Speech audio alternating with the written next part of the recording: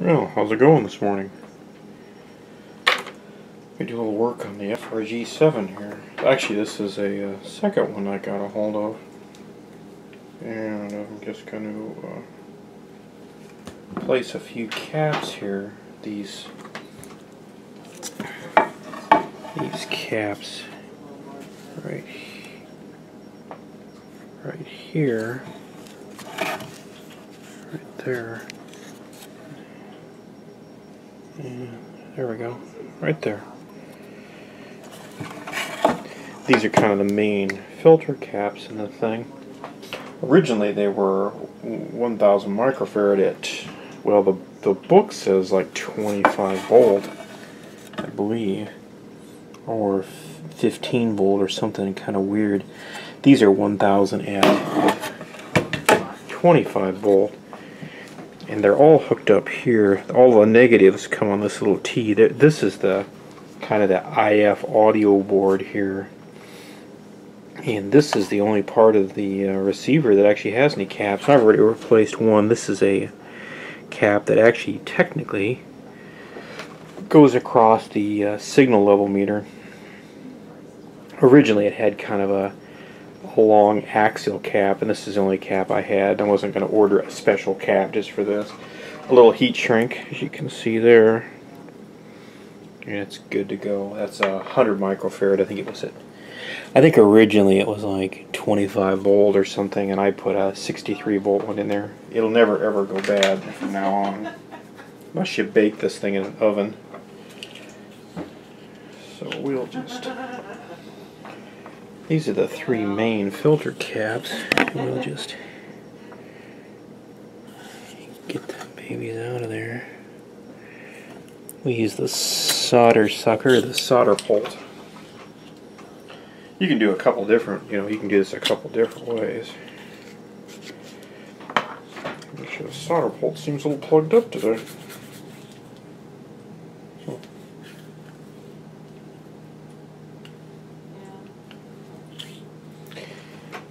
oil is in order.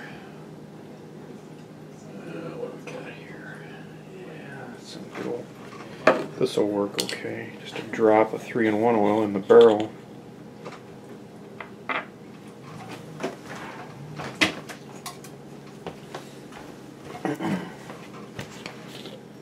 just the tip just unscrews from that. You just put a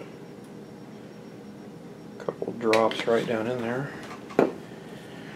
screw the barrel. Usually I clean this out after each time I use it. Apparently I didn't do so good last time. Yeah, it's a horrible shape. Needs a good cleaning. A little alcohol would really be more appropriate. Anyway, you just heat these pads and uh, cock the uh,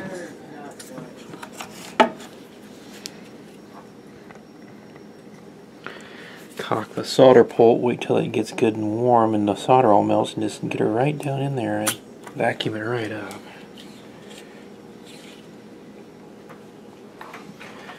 Sometimes you gotta hit this a couple times. Actually lately I've been using solder wick that seems to work a little bit better on these types of things but uh, it's kind of potato potato.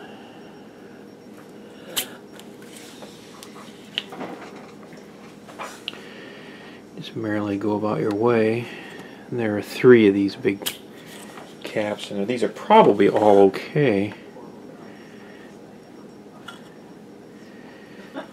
Although I've noticed on some of these that when you uh, take these caps out, some of the values of these have actually gone up. They say a thousand microfarad and they've gone up to like 1200 or 1300. That's kind of a warning bill. There's something bad going on there. I don't know exactly what it is. I have a couple theories. But anytime I see those kind of caps in there, I usually chase them out of there. I got some new uh, shiny new Nichicon caps. These are 1200, just a tiny bit more capacity, 50 volt. I got those for two reasons. A, the higher voltage will stand up a little bit better.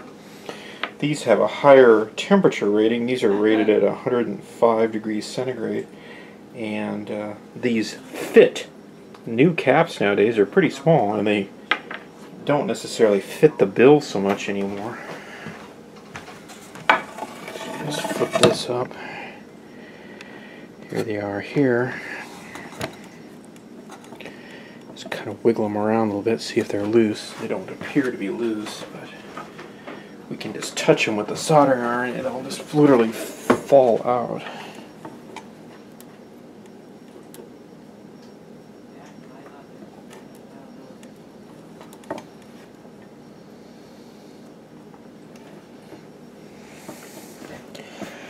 You'll have to remember which way the polarity was on these, but it's not too hard to figure out. Now some of these might have a, like this one here, there may be a little glue underneath there. This one, this brown one is coming out. And it appears to not be glued in there. It's just being stubborn. This is actually a pretty new cap, but it's a thousand at 50 volt. Yeah. We'll just bump up a little bit. And since I don't know when that was put in there, I'm going to go ahead and replace it. You can see under there, see that brown, that kind of kind of taffy colored. That's the glue that holds these in. One thing you can do to dissolve that is use acetone, but be a little bit careful how you do that. I've been very lucky and nothing underneath there has ever, other than the glue, has ever gotten dissolved. The other thing you can do is just, you can just put a little bit of acetone on a q-tip. See, there's that, there's that glue right there. And I don't know, I don't bother very much gluing these back in. If you want to glue them back in, I suggest you use some, there's some good grades of RTV. Um, there are some that are aquarium grade and they don't have that vinegary smell and they don't tend to corrode things so much. Now if you look on here, you can see the pluses and the minuses here, so you're doing okay. There's three of them there. So that one goes plus is down on that one.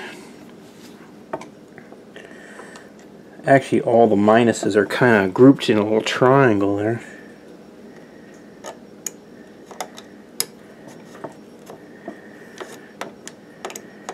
Here we go. The other thing to remember too is typically the uh, long leads are positive on these. So when you look in here, all the short leaves should be kind of glumped up. Now I'm going to use some solder. My, the solder I've got here has a tiny, it's lead with tin, and it has a tiny bit of silver in it. It takes a little more heat, but I find that it works really well and does a spectacular job. just heat the junction there of the cap and the lead and kind of just get a nice little puddle going there and we're just actually we're just kind of tacking these in just for now. There we go. I'm gonna flip this on its back so I can get a better look at it.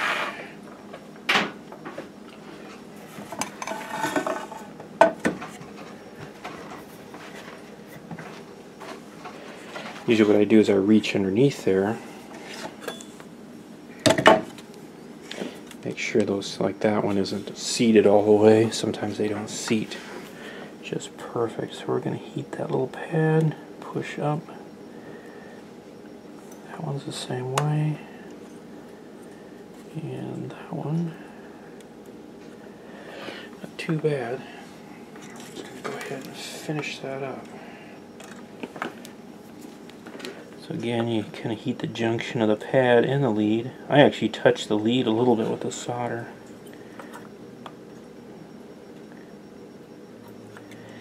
You can bend these over if you want, it won't hurt anything.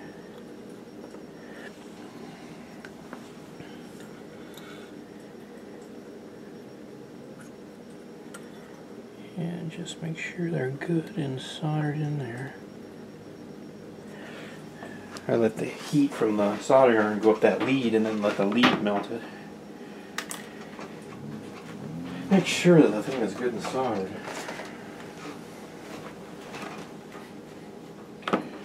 Okay, so you get that done. Now you just need some nice side cutters to cut the leads back. I tend to leave a little bit of the lead there and I also tend to hold on to these when they get clipped. That way they don't fly across the room and put somebody's eye out. Yeah yeah.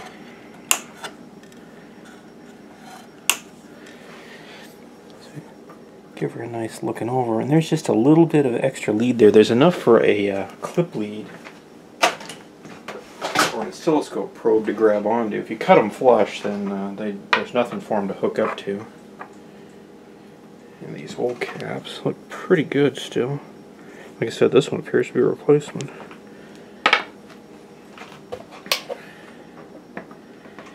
So there you go. That's just a kind of a quick sample of what you'll need to do on the FRG. There's about, what is there, about 14 caps? 14 or 15, I can never remember. Most of them are pretty small. And just merrily go about your way. There's a few in some tough places in here. There's some that are under some of this wiring, but if you scooch it out of the way, it won't be a big deal. You look on here, you know, like there. There's another replacement cap, and there's another one there. Okay, somebody's done a little work. Sometimes these little mylar caps blister and break too. But all the electrolytics are on this board. Just take your time, do a few at a time. Yeah, there's no big hurry. You can do a few and then test the radio. That way if you make a mistake, you've got a pretty good chance of backing up a little bit. And kind of kind of watch what you're doing there. Uh, if it looks like something that the you get done, if it looks like something the factory has done, let's say you did a pretty good job. That doesn't look too bad, does it? Anyway, there you go. There's how to get started. If you have any questions, just leave a little note down on the bottom. Or a comment. No problem. Anyway, have a groovy day. Take it easy.